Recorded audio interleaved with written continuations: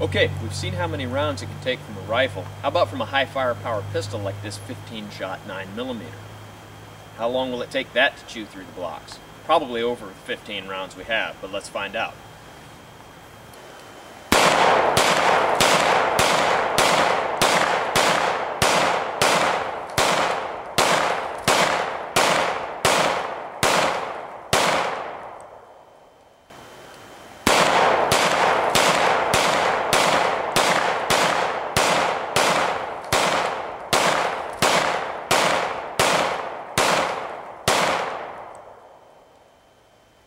Okay, I'm out.